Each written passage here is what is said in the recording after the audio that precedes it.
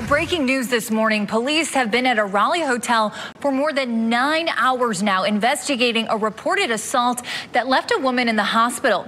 WRAL's Michael Grace has reporting has been reporting from the WRL breaking news tracker all morning long. Michael, what is the latest update?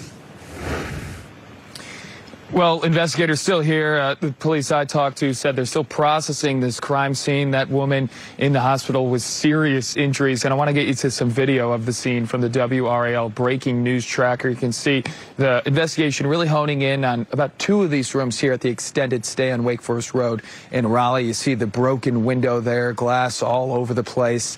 Uh, they do have a man in custody at this time. We're still trying to piece together exactly how this whole situation played out because one thing you usually don't see is an assault investigation taking this long. So the big question we're still asking investigators is what are the extent of these injuries for that woman and who is this man that we have in custody at this moment? But I'll keep you updated once I get those answers. Live in Raleigh, Michael Grace, WRAL News.